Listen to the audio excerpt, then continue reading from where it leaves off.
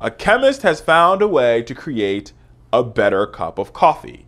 It's all in the water, baby. It is all in the water. That is what Chris Hendon says. I felt like saying, wait in the water, children. Wait in the water because God is going to trouble the water.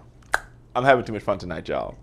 But he says that he is the formulating expert on what makes good coffee, and he said the secret to good coffee is using perfect water. And when he means perfect water, he means water that's either bottled water if you can get it, or if not bottled water, running your tap for a couple minutes before you know putting that water to brew your coffee.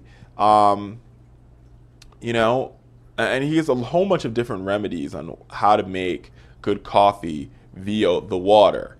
Um, and he and his team has used atomic absorption, the uh, atomic absorption spectro- spectrometer to experiment with different ion levels, including Colonna-Dashwood winning. Uh, they won a co- coffee competition, and maybe even the victory of science. So the next time you encounter a coffee connoisseur who's like, it's all about the beans, you tell them that according to Chris Henderson and the National Coffee Association, but ladies and gentlemen, by golly, it's about the water. The Coffee Association says the water you use is very important to the quality of your coffee. Use filtered water or bottled water if your tap water is not good or imparts a strong odor or taste, such as chlorine.